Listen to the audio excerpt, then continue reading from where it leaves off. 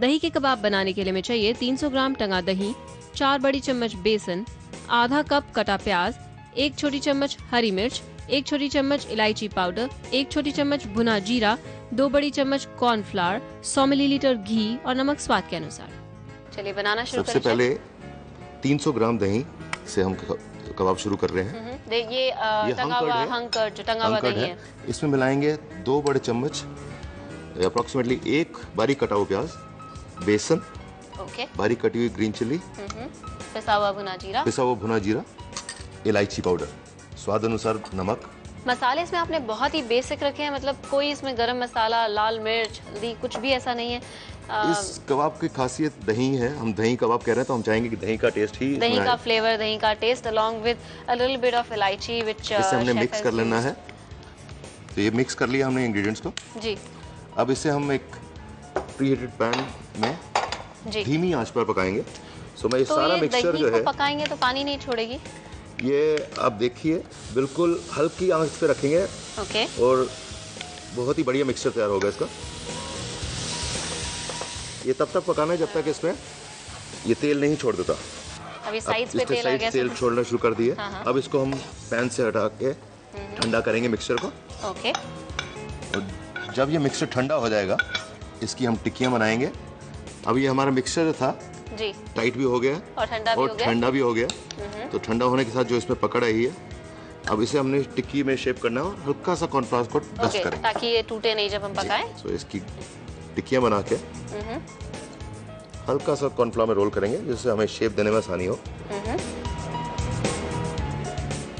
और बहुत जेंटली गोल शेप देते हुए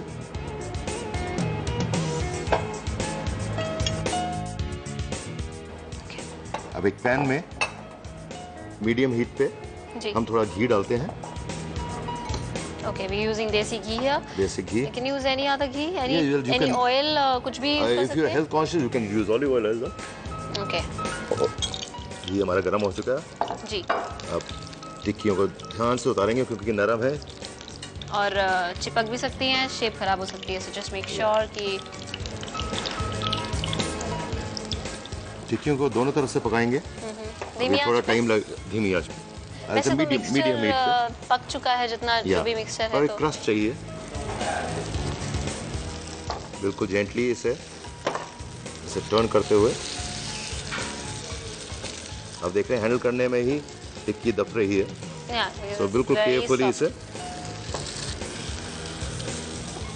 दोनों तरफ़ से गोल्डन ब्राउन तक पकाना है। अभी हमारी टिक्की दोनों तरफ़ से पक चुकी है। जी।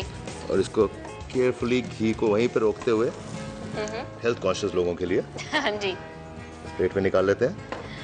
You can use a tissue paper and all also, no? Yes, तो, हल्का uh, excess और out oil whatever extra oil and ghee.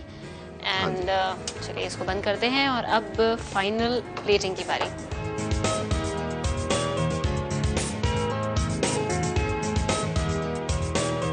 कबाब आपके तैयार है। Oh and I like you to try sure वैसे बनाए तो मैंने भी है शेफ बिल्कुल बनाया Okay, now I'm about to try this one. Looks nice and soft, and I know you guys are jealous. Hmm. Very nice. खट्टा है, soft है, चटपटा है, amazing.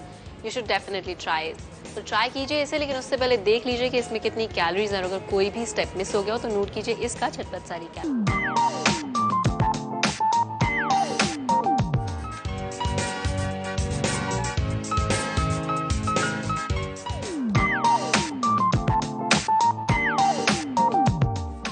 दही के कबाब बनाने के लिए दही में हरी मिर्च, बेसन, प्याज, इलायची पाउडर, भुना जीरा और नमक मिलाकर धीमी आँच पर पकाएँ।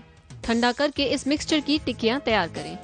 टिक्कियों पर कॉर्नफ्लावर लगाकर घी में पकाएँ। पुदीने की चटनी के साथ गर्मा गर्म सर्व करें।